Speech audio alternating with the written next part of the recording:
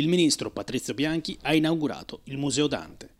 Dopo l'anteprima nella giornata di venerdì, il taglio ufficiale del museo dedicato al sommo poeta è avvenuto sabato 15 maggio alla presenza delle autorità civili e religiose. Accompagnato dall'assessore regionale Mauro Felicori, dal sindaco Michele De Pascale dall'assessore Elsa Signorino, dal presidente della Fondazione Cassa di risparmio di Ravenna Ernesto Giuseppe Alfieri, dal ministro provinciale della provincia italiana di Sant'Antonio di Padova, dei frati conventuali, frate Roberto Bandinelli, il ministro dell'istruzione ha ricordato l'importanza di Dante per i giovani e per la scuola oggi l'importanza della lettura ad alta voce della Divina Commedia e la sua attualità in un'Italia oggi definita divisa dalle diseguaglianze. Beh, innanzitutto questo è un museo bellissimo.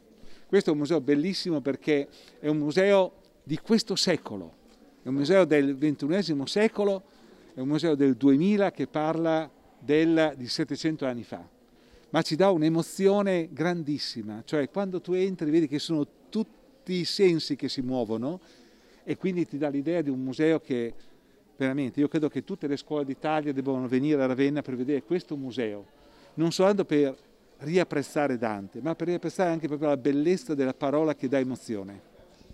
Ha parlato di empatia nel suo, suo discorso, crea empatia.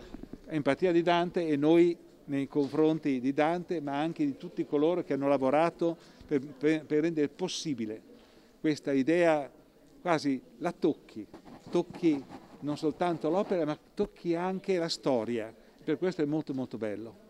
In questo mondo che stiamo attraversando ci sentiamo tutti un pochino esuli, e però bisogna essere molto attenti su questo, perché l'esule deve trovare dall'altra parte anche una capacità di dire questo è il mondo nuovo. Quindi benissimo anche questo. Un Dante popolare anche. Dante popolare non solo in quel tempo, ma anche nel nostro eh, io credo che la cosa più interessante del museo di oggi è che ti dimostra la totale attualità, attualità di un poeta che riesce non soltanto a parlare a tutti noi, ma ci spiega a noi i grandi temi della nostra epoca.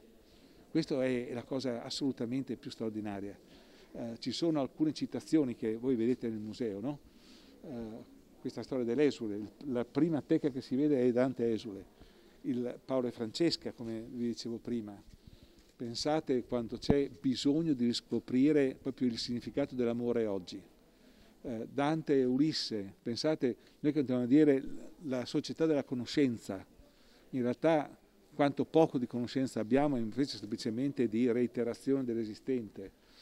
Eh, Dante e Ugolino, quindi anche le difficoltà nei, nei rapporti fra generazioni, io trovo che sia un museo straordinariamente stimolante perché parla di oggi e quindi popolare oggi, popolare, mh, però pieno nel senso pieno del termine, cioè di un popolo fatto di persone vere, vive, uno alla volta, che hanno bisogno e voglia anche poi di scoprire.